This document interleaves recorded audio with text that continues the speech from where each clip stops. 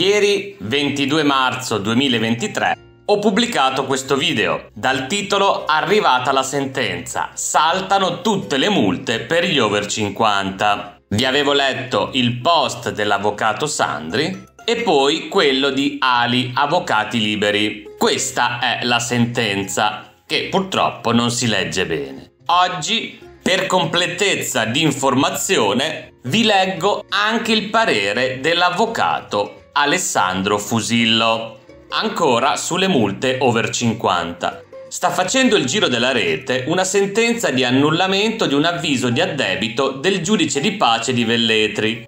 Le sentenze hanno effetto solo per le parti del processo. Pertanto, la sentenza di Velletri riguarda solo il ricorrente e l'avviso di addebito impugnato, che ha affermato che crolla tutto dà un'informazione errata. Ora, anche se qualsiasi annullamento delle indegne multe ai no buzz sia da salutare con favore, la sentenza di Velletri appare alquanto confusa. La motivazione si limita ad un solo punto, e cioè che Agenzia delle Entrate e Riscossione non sarebbe competente ad irrogare la sanzione perché la competenza apparterrebbe al Ministero della Salute. La terminologia è impropria. La sentenza parla di legittimazione attiva mentre si tratta di competenza e la tesi sostenuta dal giudice di pace è errata.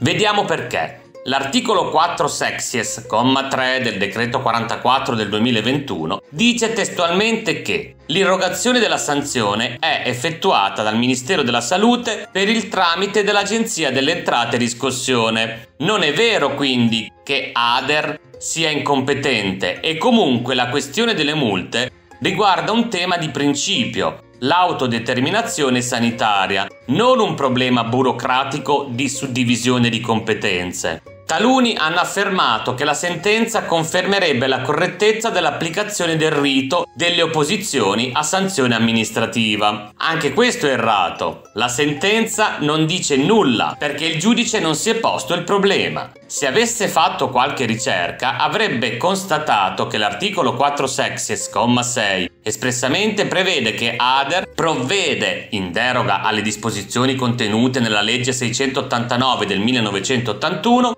mediante la notifica di un avviso di addebito con valore di titolo esecutivo. In deroga significa che non si applica la legge 689 dell'81 e il procedimento di opposizione a sanzione amministrativa. Pertanto, non si applica nemmeno il termine di 30 giorni per l'impugnazione delle sanzioni amministrative, come evidente dal testo degli avvisi di addebito che in questo termine non fanno menzione. I giudici di pace, che sono migliaia, decideranno ogni volta sulla base della loro individuale sensibilità e cultura giuridica. Ad oggi gli annullamenti che ci sono stati non entrano nel merito dell'aggressione dello Stato all'integrità corporale dei cittadini e del principio di autodeterminazione sanitaria. Questa è la partita che si sta giocando, mentre si fa un gran parlare della modesta sentenza del giudice di pace di Velletri sta passando sotto silenzio una sentenza del Tribunale di Napoli che ha demolito le sentenze della consulta dichiarando illegittimo l'obbligo della pozione dei militari.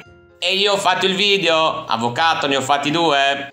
L'impugnazione degli avvisi di addebito prima del 1 luglio 2023 è un'iniziativa inutile. Anzitutto le sentenze sono appellabili e in appello non ci si potrà difendere da soli, ma sarà necessaria l'assistenza di un avvocato per cui occorre vedere se Ader ricorrerà in appello. In secondo luogo, le multe sono sospese, non c'è rischio di esecuzione forzata e gli avvisi di addebito non vanno pagati. Inoltre, qualunque causa è connessa al rischio di perderla e di condanna alle spese, per cui prima di assumersi il pericolo di una causa bisogna essere certi che si tratti di un'iniziativa necessaria. Io non penso sia corretto consigliare alle persone di rischiare inutilmente. Ad oggi è meglio attendere e verificare se il governo manterrà la promessa di annullare le multe. Se non lo farà, ci sarà tempo per impugnare gli avvisi di addebito. Infatti, molti giudici di pace stanno rinviando le cause a dopo il 30 giugno per verificare se l'annullamento definitivo sarà stato attuato per legge. Quando e se arriverà il momento, metterò a disposizione di tutti gratuitamente i modelli di impugnazione e le istruzioni necessarie per impugnare gli avvisi di addebito.